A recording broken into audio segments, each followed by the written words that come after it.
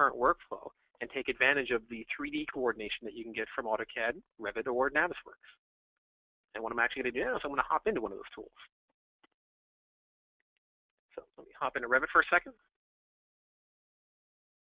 There we go. So everybody should be able to see that. so what I'm looking at right now is just a basic Revit model, some structure. And I'm going to hop over here to my Autodesk Point Layout ribbon. And you can see that there's actually a lot of tools on here that I can take advantage of. Now I can add points.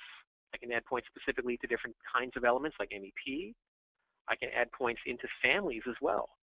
So if we're looking at something like a pipe hanger, I don't want to go around my project and place 300 pipe hangers.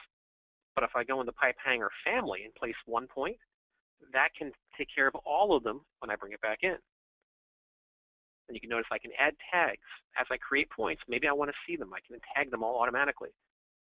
What I'm going to look at right now, though, is the slab analysis there.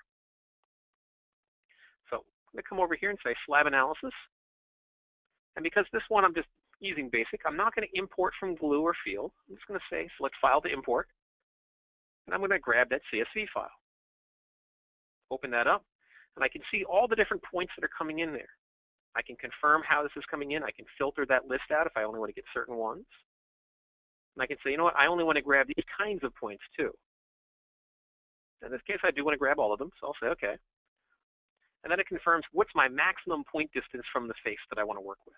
So what's the maximum deformation I need? I'll say 8 inches. I'll say OK.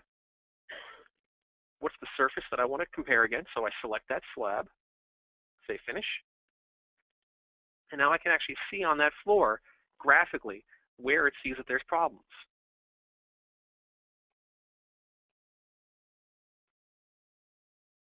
So I can see that I'm high over here in that corner and I'm low where it's blue. And I can always go through and edit that style similar to other kinds of an analysis. And if I don't really necessarily need, you know, graphics, I'd rather just show the physical points and then have a little tag off it that shows me how high that is, I can do that too. So in that case, let's say, it's going to say import. Same exact process, bring in my points. Say what kind of points those are. Now I have a whole bunch of these little guys here.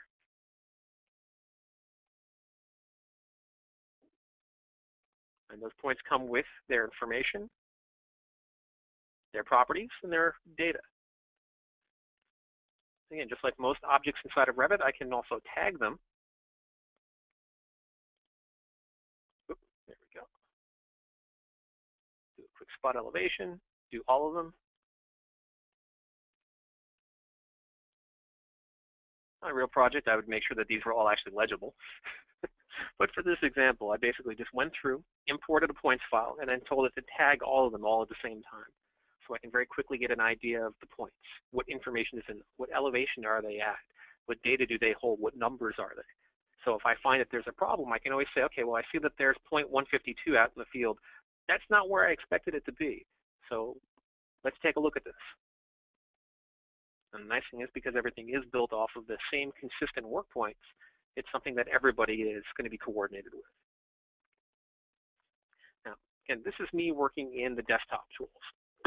So what happens if I'm out in the field now? So I'm just going to hop over here. Now what I'm looking at is the Autodesk BIM 360 Layout app. Now again, you don't have to be using the app. The app allows me to take the points here and connect to directly one of the many different robots that the service will work with. If I don't want to use the app or I'm working with a device that doesn't connect to this, it's not a big deal. I can import and export just like I did with Revit so that way I'm still coordinating in the field and in the office. So what this is doing now, though, is it's going to be loading the file that I already have on BIM 360 Glue. And it's going to have points on there that I've created either in Revit or back and forth from the field. And then from there, what I can do is review the points. I can get dimensions. I can do markups. I can also connect to the device. Now, in the office I'm in right now, I don't have a device to connect to. So it's taking a little while as it looks for something to actually work with.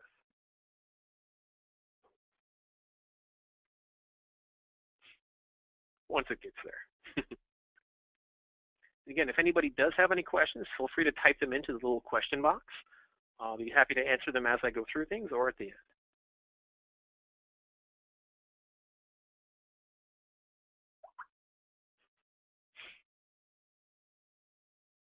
One more second before I try a different file that's a little bit lighter.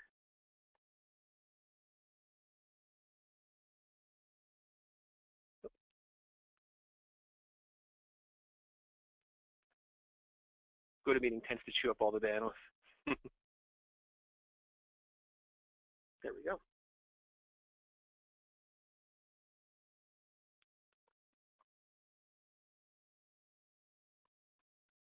Alrighty, so once we have what we're looking at on the screen, if you've ever used BIM 360 Glue, the interface is going to feel very familiar. So I can orbit around, I can pan. Some of the graphics on the bottom will also look very familiar in terms of the measure tool the view tool, and the markup tool. The one that's going to look new, though, is the one that's on the bottom right. It looks like a little target. And in fact, that's essentially what you are looking at. You're looking at a target for this device. So if I click on that, that tells me I'm not currently connected to a device, but I already knew that. This is going to show me the information related to this. Now at the moment what I'm looking at are the different points that I've already created. If I click on one, it'll zoom in and bring me towards that wait for the screen to catch up here.